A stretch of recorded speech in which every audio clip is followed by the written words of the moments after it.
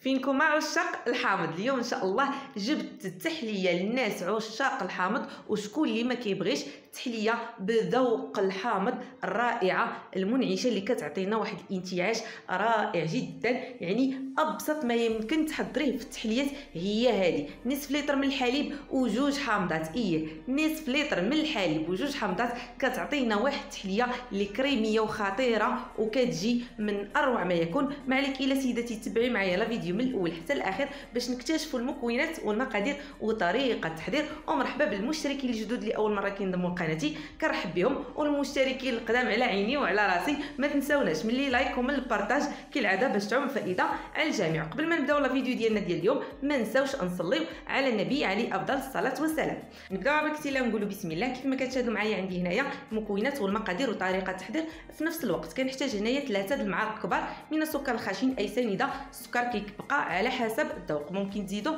ممكن تنقصوا ثم كنحتاج ثلاثة ديال المعالق كبار ديال النشا. واللي ما توفرش عنده النشا ممكن يضيف لا كريم باتيسري وعندي نصف لتر من الحليب. غادي نخلط الكل جيدا ونوضعو على نار مهيلة مع التحريك المستمر.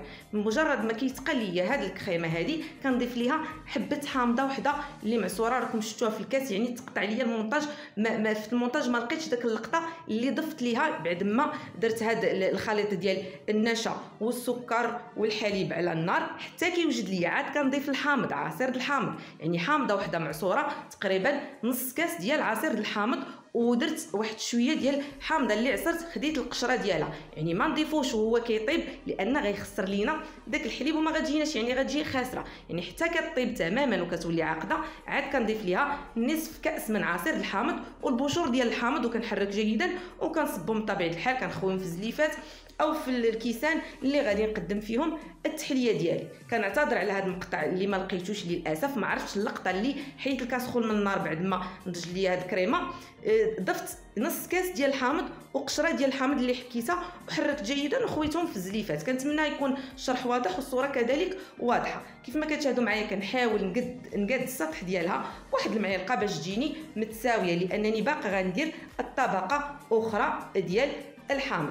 أنا غادي نقادها يعني بالمعلقة وغادي نوضعها غير فوق قدامي في سطح العمل بلا ما نوضعها في الثلاجة. راه دغيا كتشد راسها لأن فيها النشا أو لا كريم باتيسري راه دغيا غير كيتسرب داك البخار بيد ما كان قد الطبقه الموالية كتكون واجدة عندي. أنا غادي نقادها بسطح الملعقة ونخليها فوق سطح العمل ونمشي نحضر الطبقة الموالية.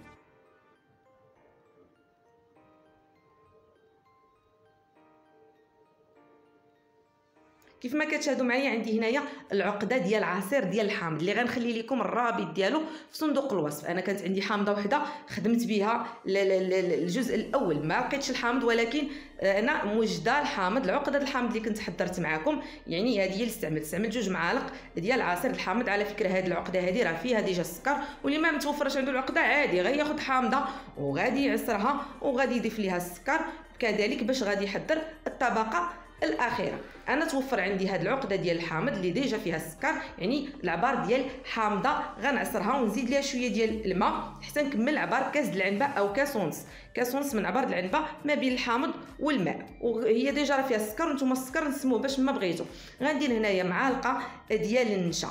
معلقه ديال النشا وغنضيف واحد شوية أي ملون عندنا اصفر أنا عندي ملون أصفر ما كانش عندكم غديروا شوية ديال الزعفران.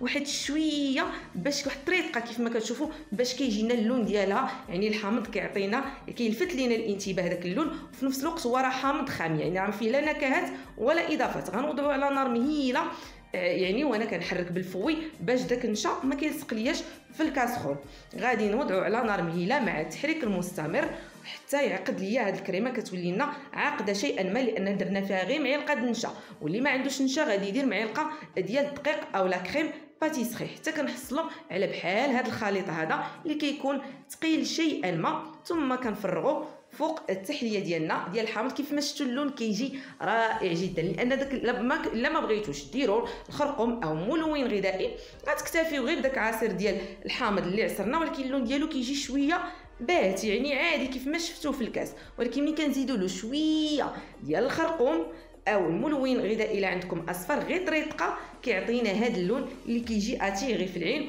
وكتميز لينا وكتعطينا وكتعبر لينا بأنها تحلية ديال الحامض المنعشة مليون بالمئة. يعني نصف لتر الحليب وجوج حامضات.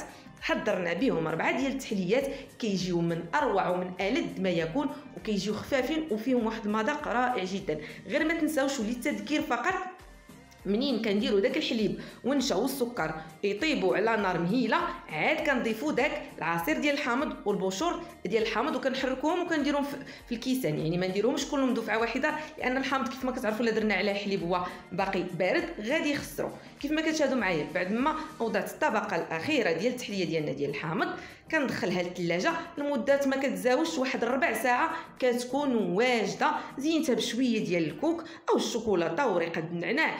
ممكن تزينوها بشرائح ديال الحامض أو تخليوها كما هي غير هي بوحدها راها منعشة وكتعبر على الانتعاش كتجي من الذ ومن أروع ما يمكن تجربوه في, في التحليات ديال الحامض. ممكن أنا درت هاد عطاتني السيترو حليب عطاتني ربعة ديال التحليات بالحجم الكبير هادو راه زليفات راهم كبار. ممكن ديروا زليفات أو الكويسات غير صغيورين كيخرجوا ليا 6 حتى ل 8 منين كندير داك الكويسات الصغار؟ كيف ما درجت معكم واحد التحلية ديال الحامض بطريقة أخرى حتى هي غنخليها لكم في رابط صندوق الوصف. غنخلي لكم الرابط ديال لي يعني العقدة ديال الحامض كيفاش صيبتها وغنخلي لكم الرابط ديال التحلية اللي سبق من هذيك كنا خرجنا منها 8 ديال الكؤوس بطريقة مغايرة ومختلفة على هذه الطريقة هذه يعني عندكم جوج طرق كيفاش تحضروا التحلية ديال الحامض اللي كتجي منعشة وخطيرة وتستحق مليون في المئة التجربة. كيف ما كتشاهدوا معايا في الصور كتجي كريمية. لا الطبقة الأولى ولا الطبقة الثانية. غير حذاري ما تكثروش من الشاي يعني غير ثلاثة المعالق يكونوا كبار ما يكونوش مملوئين بومبي. وكذلك في الطبقة الأخيرة معلقه ديال النشا ما تكونش بومبي باش كتجينا كريمية ما تجيناش عاقدة. يعني هذه هي التحلية وإلا فلا ديال ذوق الحامض. بدون كريمة بدون flan بدون كثرة القوام والمقادير. كنحضروها في واحد الوقت وجيز جدا وكتجي لذيذة ومنعشة. ونتمنى ينال اعجابكم la vidéo ديال اليوم وما تبخلوش علينا الله يجازيكم بخير. ب les likes اللي شاف الفيديو وعجبو يتفكر لينا les likes باش يعطينا واحد الشجاعة ونحسوا بأننا كنقدموا شي حاجة زوينة شي حاجة في المستوى. وكذلك ال partage الله يجازيكم بخير. منين يعجبكم الفيديو؟